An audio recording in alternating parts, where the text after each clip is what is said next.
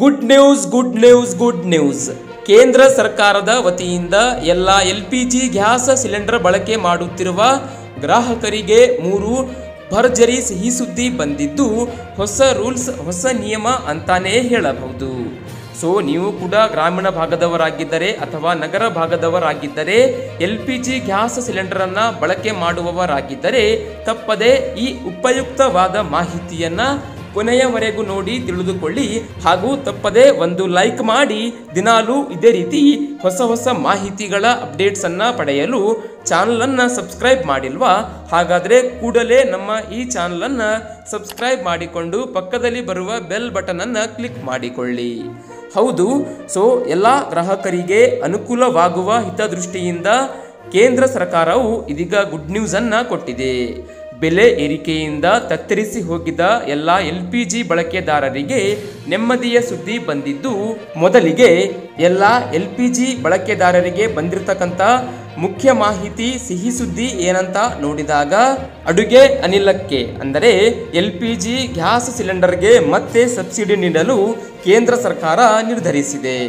ಬೆಲೆ ಏರಿಕೆಯಿಂದಾಗಿ ಬಡವರು ಮತ್ತು ಮಧ್ಯಮ ವರ್ಗದವರಿಗೆ ತೊಂದರೆ ಆಗುತ್ತಿದ್ದು, ಬಹುತೇಕ ಎಲ್ಲ ಗ್ರಾಮೀಣ ಭಾಗದಲ್ಲಿ L P G gas cylinder ಅನ್ನ ಬಳಕೆ ಮಾಡುವುದನ್ನ ಬಿಟ್ಟು ಮತ್ತೆ ದೇಶೀಯ ಒಲೆಗಳ ಮೇಲೆ ಅಡುಗೆಯನ್ನ ಮಾಡಲು ಪ್ರಾರಂಭಿಸಿದ್ದಾರೆ.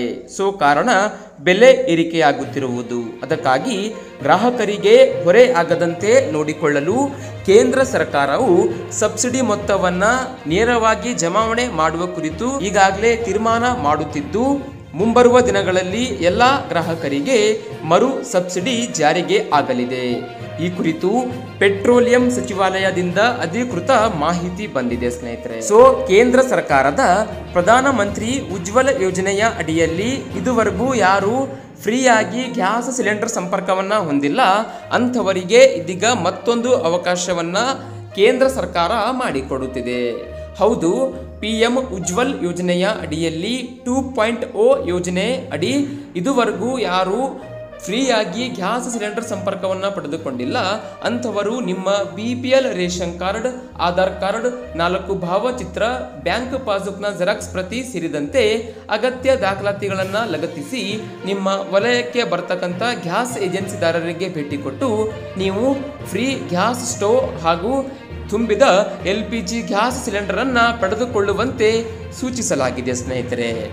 ಯಾರು ಇದುವರೆಗೂ ಈ ಯೋಜನೆಯ ಲಾಭವನ್ನು ಪಡೆದುಕೊಂಡಿಲ್ಲ. ಅಂಥವರು ಸುಲಭವಾಗಿ ಪಡೆದುಕೊಳ್ಳಿ.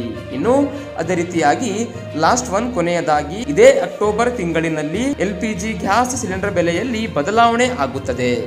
ಸೊ, ಈ ಬಾರಿ L P G gas cylinder ಬೆಲೆಯಲ್ಲಿ ಇಳಿಕೆ ಆಗಲಿದೆ ಎಂದು ಆರ್ಥಿಕ ತಜ್ಞರು ಅಭಿಪ್ರಾಯ ಪಟ್ಟಿದ್ದಾರೆ ಒಂದು ವೇಳೆ ಎಲ್ಪಿಜಿ ಗ್ಯಾಸ್ ಸಿಲಿಂಡರ್ ಬೆಲೆಯಲ್ಲಿ ಇಳಿಕೆಯಾದರೂ ಕೂಡ ಎಷ್ಟು ಇಳಿಕೆಯಾಗಬೇಕು? ತಪ್ಪದೆ ಈ ವಿಡಿಯೋದ ಕಮೆಂಟ್ ಬಾಕ್ಸ್ ಅಲ್ಲಿ ಕಮೆಂಟ್ ಮಾಡಿ, ಆದಷ್ಟು ಈ ಮಾಹಿತಿ ಈ ವಿಡಿಯೋವನ್ನ ಎಲ್ಲರಿಗೂ ಶೇರ್ ಮಾಡಿ. Thank you.